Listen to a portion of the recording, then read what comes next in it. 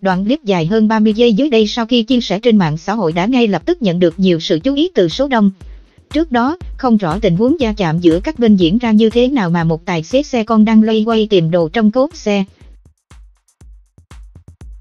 Sau khi lấy hung khí từ cốp ra, người này chạy đuổi theo một chiếc xe tải. Đúng thời điểm đó, hai chiến sĩ công an đang đi làm nhiệm vụ thì phát hiện sự việc. Hai chiến sĩ nhanh chóng áp sát người đàn ông và thu hồi hung khí, kịp thời ngăn cản một sự vụ ồn ào xảy ra. Tài xế xe con cầm hung khí đuổi theo.